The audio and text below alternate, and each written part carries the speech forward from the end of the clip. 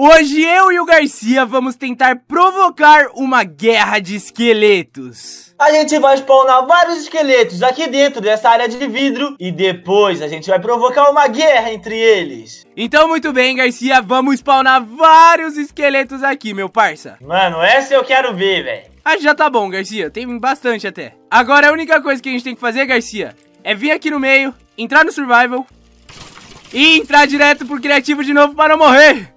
Ai! Meu e Deus, guerra de esqueleto! oh, um já morreu! É Não a guerra, mano! Tá tendo guerra!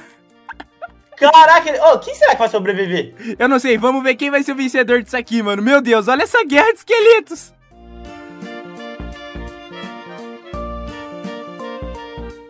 E Garcia, temos um vencedor, mas o seu prêmio vai ser uma morte digna. Cara, e ele foi vencedor por pouco, que um tapa ele já morreu.